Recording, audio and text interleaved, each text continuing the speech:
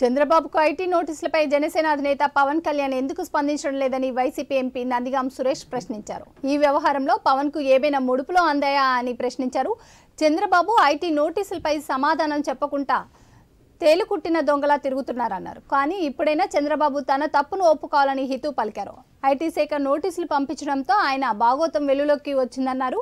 Code భాషలో ఆయన డబ్బులను సమకూర్చుకున్నారని ఆరోపించారు.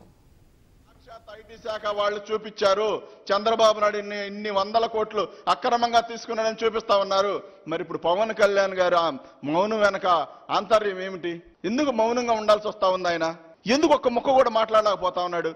వాటా అన్నా ఉండాలా? లేదా చంద్రబాబు నాయుడు చేసింది మా చంద్రబాబు నాయుడు చేశాడు అని చెప్పి చెప్పదలుచుకున్నావా?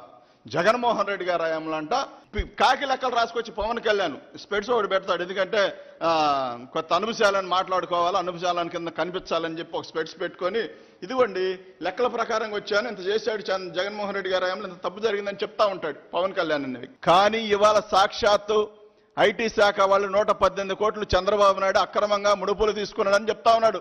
పవన్ కళ్యాణ్ ప్రశ్నించవయ్యా ఒకసారి నిద్ర మేల్కో. ఎన్నాళ్ళనే చెప్పి ఈ రామోజీరావు ఏబిఎన్ వాళ్ళు చంద్రబాబు నాయుడు ఇలాకాలో నిద్రలో పోతా ఉంటావు. ఎన్నాళ్ళన్న వాళ్ళకి ఓడికం బాడికం చేస్తూ ఉంటావు. ఇప్పుడైనా ప్రశ్నించు. లేదు సార్ నాకు కూడా వాటా ఉంది నేను తీసుకున్నాను. నాకు కూడా వాటా ఉంది కాబట్టి నేను మాట్లాడలేనని చెప్తా ఉంటావా?